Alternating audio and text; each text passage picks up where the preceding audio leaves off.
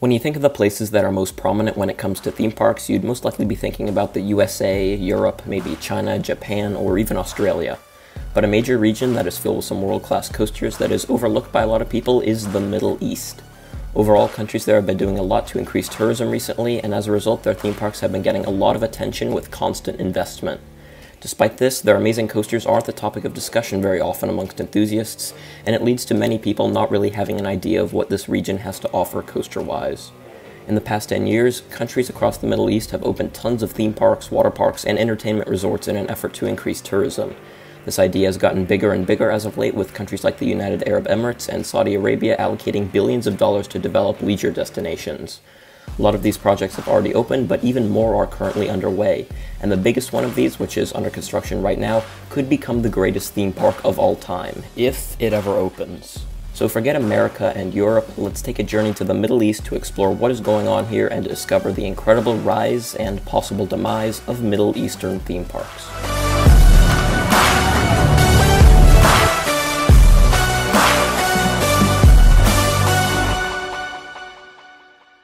Before we get into the future and expansion of the Middle Eastern amusement industry, let's take a look at what they already have. There are 17 countries in the Middle East, and many of them are very lacking when it comes to theme parks. In fact, only a handful of those countries have a decent coaster collection. Nations like Bahrain, Jordan, Kuwait, Lebanon, Oman, Palestine, Syria, and Yemen have next to nothing, which makes sense because they're all small countries and not exactly known for their entertainment. Cyprus, Egypt, and Israel all have a few extreme coasters like Zyklons and Boomerangs scattered throughout their respective areas, but none of them have any great rides or parks. Iran is a country with many alpine coasters by Wiegand. Iran Park, though, is the biggest theme park in the country and is home to six modest roller coasters as well as some cool flat rides like a Starflyer and Drop Tower. Iraq has some low quality extreme rides such as an SLC and some stuff by lesser known manufacturers. The country's best coaster, however, is one that I had never heard of. This is Dream Coaster at Dream City, and it's a Maurer X car that's a clone of the now defunct G-Force at Drayton Manor.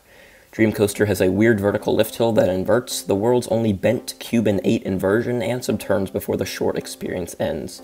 It's a unique ride from Maurer, but definitely isn't a coaster worth traveling for. Qatar only has a few parks across the country, but one ride really stands out there. Epic Coaster is the world's tallest indoor roller coaster.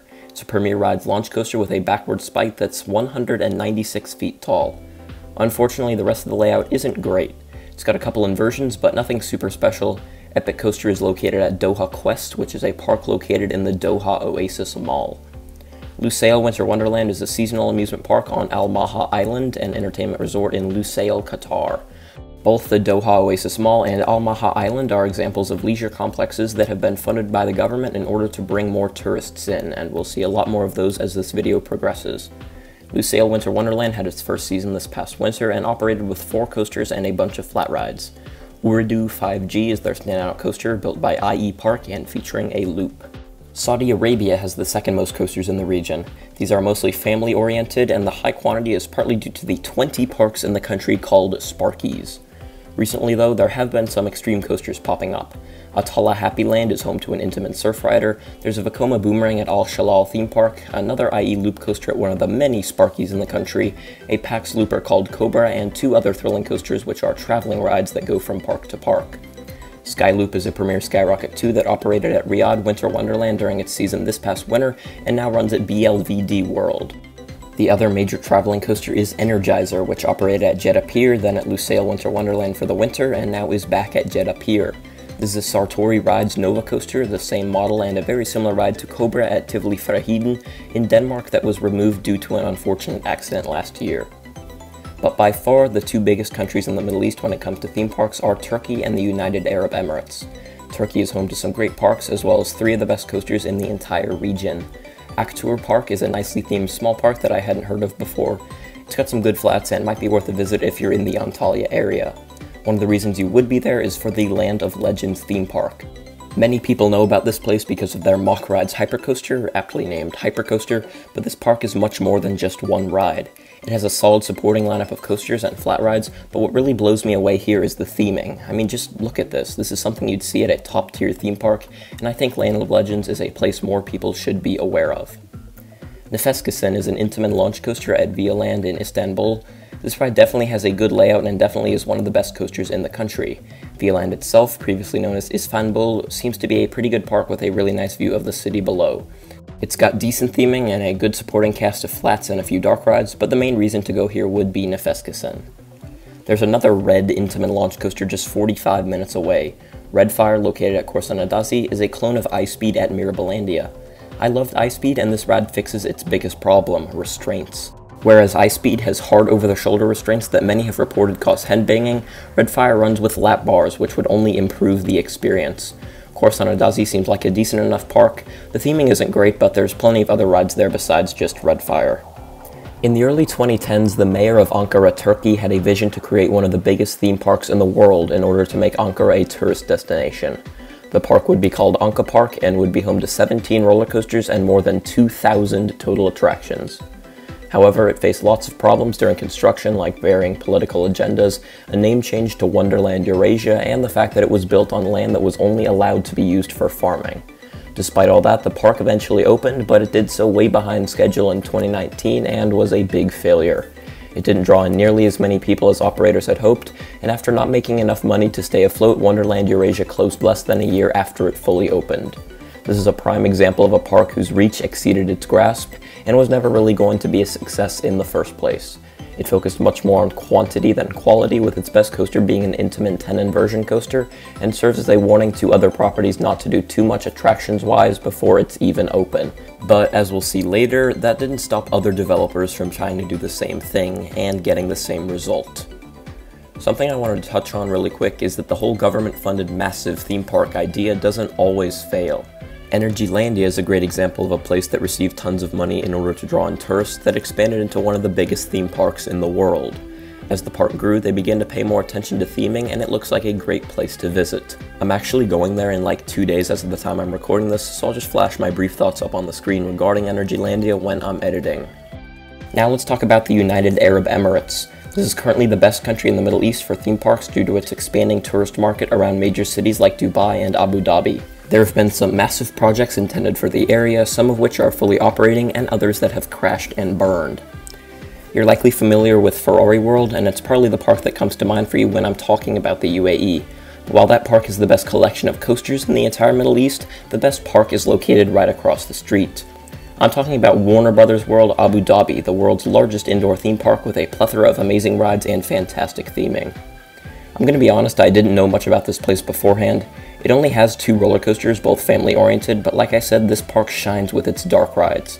They have a Forbidden Journey style Batman themed ride, a dark ride slash log flume hybrid themed to the Flintstones, a trackless Scooby Doo dark ride with more amazing theming. Whatever this park builds, they theme it to the absolute best of their abilities.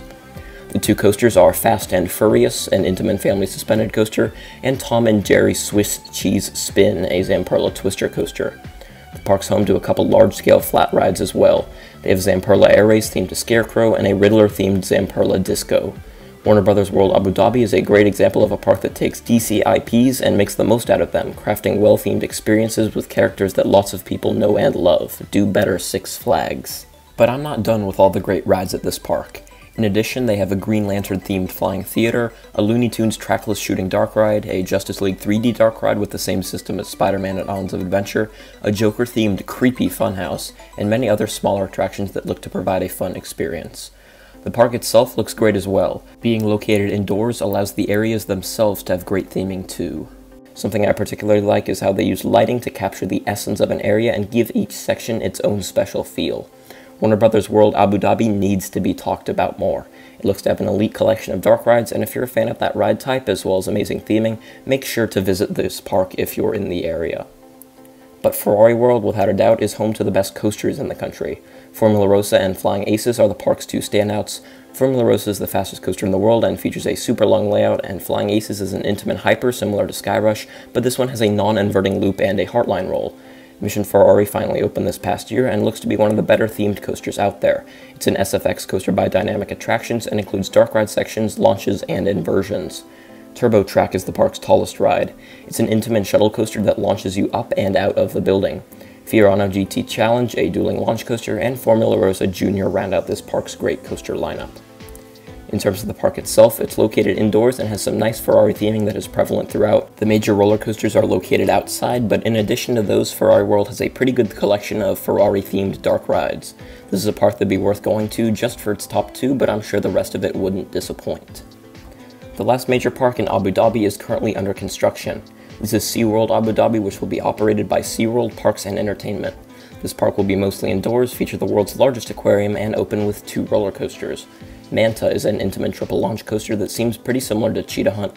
There's no actual POV, and I couldn't find very much footage of the ride itself, but according to the park, it'll have 17 airtime moments and the world's first zero-G flip-out. The park itself looks very immersive with its animal exhibits and other sea-themed experiences. It opens on May 23rd of this year. Warner Brothers World Abu Dhabi, Ferrari World, and SeaWorld Abu Dhabi are all located within 10 minutes of each other, and that's because they're all part of a huge entertainment resort called Yas Island. This artificial island opened in 2010 and is currently home to those three parks, as well as a water park, hotels, restaurants, a beach, marina, arena, racing circuit, and more. It was built at a cost of upwards of 40 billion US dollars, funded by Aldar Properties in alignment with the UAE's vision to increase tourism, and attracts tens of millions of visitors each year.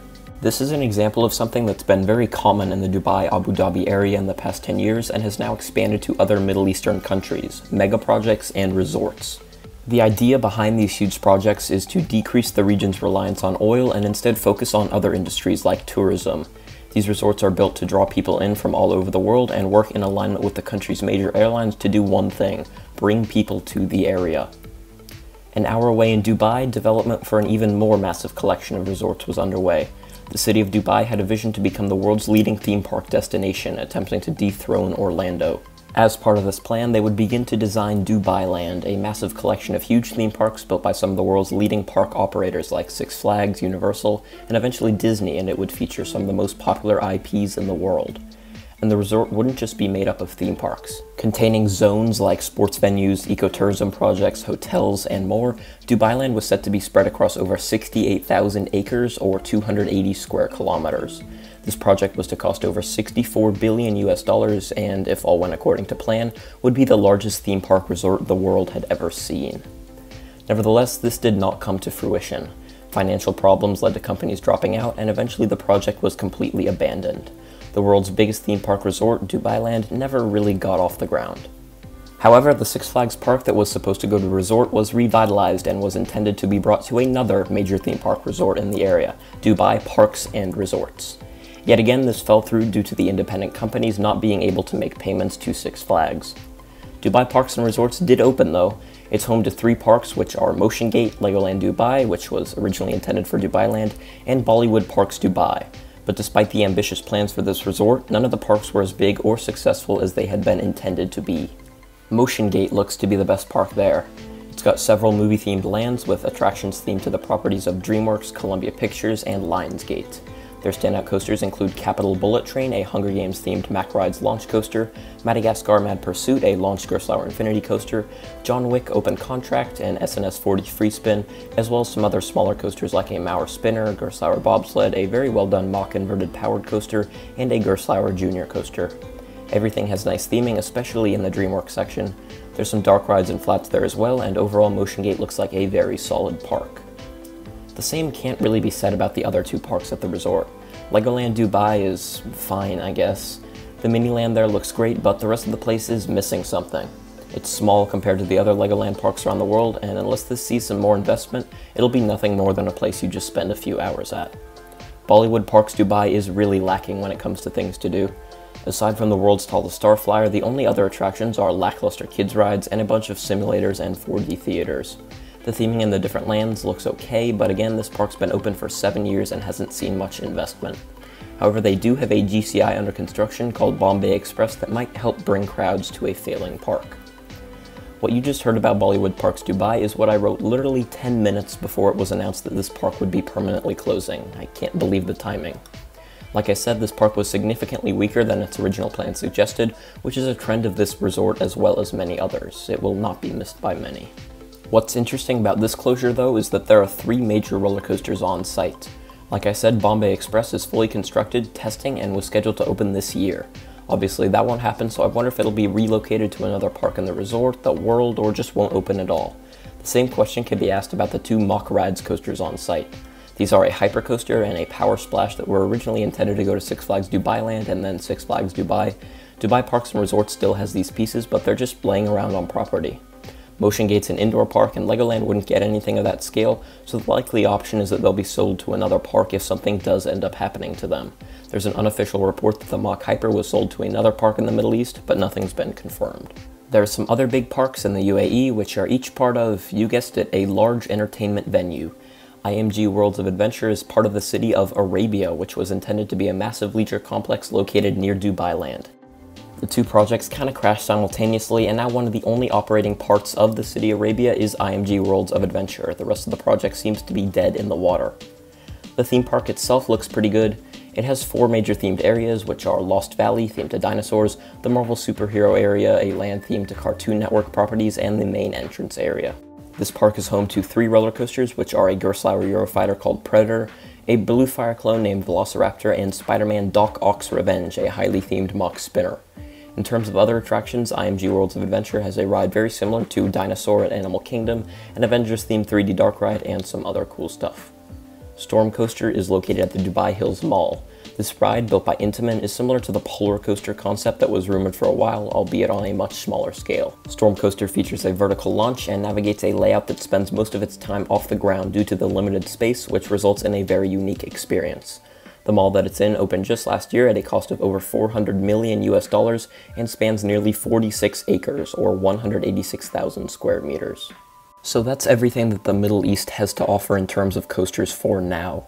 But like I said, this region and the Gulf states in particular are going all in on developing these mega projects in order to draw in tourists, which will result in a lot of investment in their theme park industry.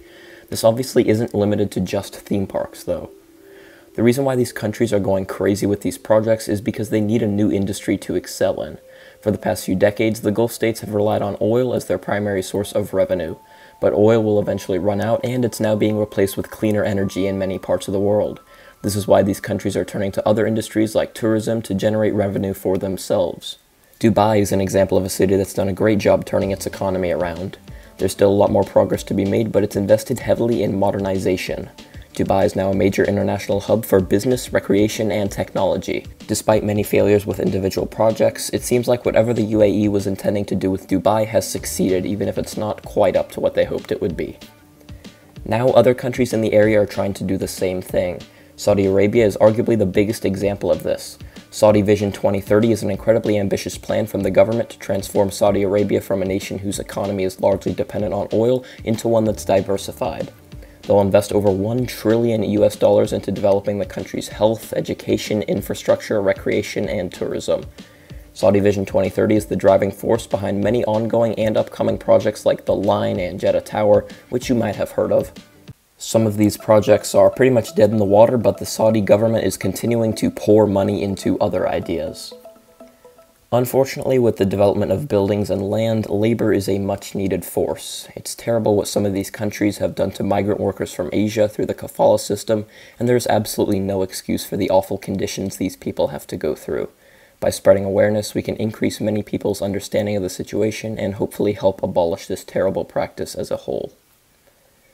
Going back to the Saudi mega projects, there's one that's particularly interesting for me and a lot of other enthusiasts. Qiddiya is an entertainment project that'll be located just outside of Riyadh. This will be a fully functioning city, also featuring theme parks, water parks, resorts, sports arenas, nature trails, and a bunch of other stuff. Qiddiya is funded by the Saudi Public Investment Fund and is intended to become the largest tourism destination in the world by 2030, with 334 square kilometers or 129 square miles of land. It's obviously up in the air whether or not this will come to fruition due to the massive scale of Qiddiya and the very real possibility of it being yet another failed Middle Eastern mega project. Construction was delayed due to a certain disease, and it's now well behind schedule. The reason why I've brought up Qiddiya in this video, and you probably know this already, is because of Six Flags Qiddiya. This enormous theme park will cost 1 billion US dollars to build, and if it opens, will be one of the biggest theme parks in the world. There's a ton of concept art and official documents for the park which depict thrilling roller coasters and an immersive atmosphere. The headlining attraction at this brand new theme park will be Falcon's Flight, which is set to be the world's tallest, fastest, and longest roller coaster. I think we all remember seeing the original animation for this ride and laughing due to the fact that it literally defies gravity. A lot of people, including me, brushed this project aside when it was first announced. When I saw the news, I remember thinking, yeah, right, that'll never happen. But now, three years later, Six Flags Qiddiya is still very much alive and track has actually been installed on Falcon's flight. New developments and documents have just been released by the Qiddiya Investment Company that give us a lot more insight into the details of the park. In this document, it is stated that Falcon's flight will be 185 meters or 607 feet tall. In another part of the document, though, it said that Falcon flight will be over 200 meters or 656 feet tall. I'm not sure which one is right because the park literally contradicts themselves in the same document, so I guess we'll just have to see. Things that have been confirmed about Falcon's flight is that it will be built by Intamin, it'll reach speeds of over 250 kilometers per hour or 155 miles per hour, and will feature over 4,000 meters or 13,000 feet of track, making it the tallest, fastest, and longest roller coaster in the world. Going more into the specifics of Six Flags Qiddiya, it'll have six themed areas around an indoor central hub. I'm not going to go into all the details about this park because that'd take like 30 minutes, but I'll link some videos down in the description that do that instead. What I will do is give a brief overview of some of their major attractions. The park will also be home to the Colossus, which is described as a gravity-driven wood-steel hybrid coaster, so an RMC hybrid. It'll be the first RMC since Lightning Rod to feature a launched lift hill, if the documents are correct, and will go through 30 airtime moments along just 800 meters or 2600 feet of track. That's really weird considering that Untamed, which is the coaster I've been on with the greatest quantity of airtime, has 22 moments of airtime along 3,500 feet or 1,000 meters of track. Colossus will be a ride focused almost exclusively on airtime, and I guess we'll see how that turns out. Another major coaster is Iron Rattler Mine Train, which is neither related to Iron Rattler nor a mine train. It's a Vekoma tilt coaster in the Steamtown area of the park and is supposed to have some really detailed theming. According to the official documents, which I'll link in the description, this ride will be 60 meters or 196 feet tall. They'll also have the world's tallest freestanding drop tower with Sirocco Tower, which is set to stand 145 meters or 475 feet tall, and Spitfire, which will be the world's tallest triple launch coaster. That means it'll be taller than Soaring with Dragon, which is the current record holder, and it stands 197 feet or 60 meters tall. The ride looks to have a massive inverted top hat and some other elements during its relatively short layout. Like I said, there's many other rides that'll go to this park, but I decided not to go into too much detail since this video is already pretty long as it is. To finish up, I'm going to answer a question that could determine the fate of the entire Middle Eastern amusement industry. Will Six Flags Qiddiya open? Will it be successful? And will it pave the way for more theme park related Middle Eastern mega projects in the future? To answer that question, we need to take a look at something really important that I haven't touched on, the heat. Temperatures in the UAE and Saudi Arabia can get up to 120 degrees Fahrenheit or 49 degrees Celsius in the summer months. That's the reason why most of the area's successful theme parks are indoors. If you look at most of the parks I talked about earlier, they're all inside. Ferrari World, Warner Brothers World, Motion Gate, the upcoming SeaWorld Park, and all the malls are inside. And when you look at the parks that haven't been seeing attention and investment, they're outside.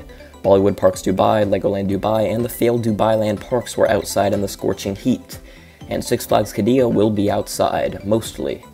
From the documents that have been released, the park seems to be making some efforts to negate the undesirable temperatures.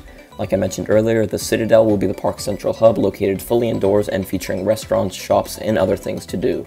Each land will have shaded areas as well as water fountains, but there's only so much you can do to reduce the effects of heat when your park is located in one of the hottest places on Earth. Something else that's a concern is the fact that Six Flags' previous two Middle Eastern projects did not come to fruition. But there's a difference between Qiddiya and the Dubai parks. Six Flags Qiddiya is being fully funded by the Saudi Public Investment Fund, whereas Six Flags Dubai Land and Dubai required independent companies to help finance and make payments to Six Flags. Eventually, they failed to pay on time, so Six Flags terminated the agreement. The Public Investment Fund is regulated and controlled by the Saudi government and is what is funding all of the mega projects in the country. If Saudi Arabia is really serious about making Qiddiya happen, they'll get it done, no matter the cost. But even if Six Flags Qiddiya is completed, I doubt it'll be as complete as the concept art makes it out to be.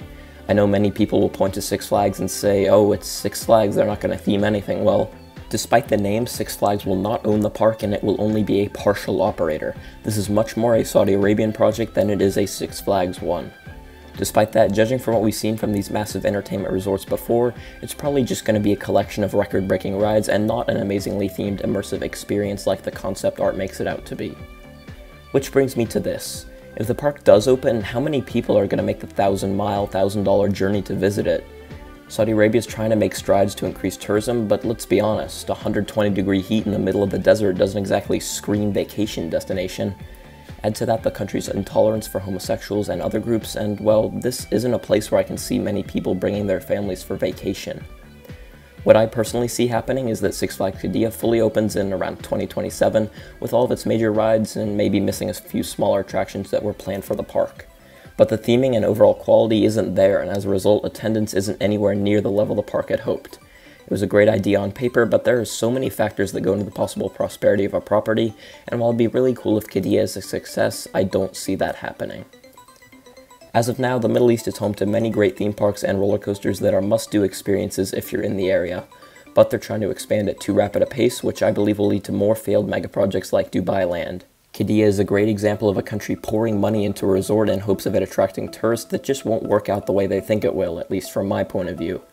The Gulf states are extremely ambitious with their future plans, but they're taking a ton of miscalculated risks and it seems that their reach will continue to exceed their grasp. Due to many factors, it just doesn't look like these huge projects, theme parks included, will be worth the return on investment.